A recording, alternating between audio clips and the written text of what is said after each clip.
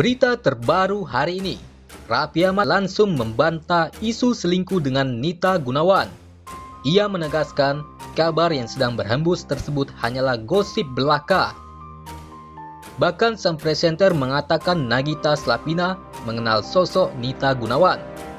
Lantas, untuk membuktikan ucapannya, Raffi Ahmad menghubungi sang istri lewat panggilan video. Akan tetapi, Nita Gunawan menyinggung soal Raffi Ahmad yang menyuruhnya datang. Kemudian, Nagita Slavina mengangkat panggilan video dari suaminya itu. Raffi Ahmad tanpa basa-basi langsung meminta agar Nagita Slavina tak marah padanya. Raffi Ahmad lalu mengarahkan ponselnya ke arah Nita Gunawan agar bisa saling sapa. Baru sebentar menyapa Nagita Slavina, sambungan panggilan video justru langsung dimatikan. Beberapa kali Raffi Ahmad menelpon, sang istri tak segan mengakhiri setelah Nita Gunawan muncul. Ruben Onsu yang ada di lokasi pun kaget dan menegaskan momen tersebut bukan settingan. Meski begitu, Raffi Ahmad berusaha kembali menelpon sang istri dan meminta tak dimatikan. Namun kali ini, sapaan Nita Gunawan pada Nagita Slavina mendapatkan sambutan baik. Lanjut, Nita Gunawan menjelaskan sudah pernah bertemu dengan ibu dua anak itu.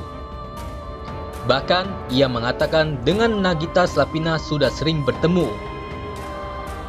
Raffi Ahmad seolah ingin kembali menegaskan dirinya dan Nita Gunawan tak ada hubungan spesial. Ia juga meminta pada Nagita Slavina agar ikut membenarkan bantahan tersebut. Sayangnya, Nagita Slavina justru mengaku tak tahu terkait dugaan perselingkuhan sang suami.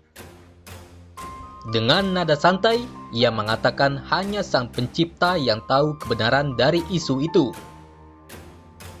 Mendengar jawaban sang istri, Raffi Ahmad akhirnya ingin mengakhiri panggilan video saat mengucapkan kalimat berarti aku sayang kamu.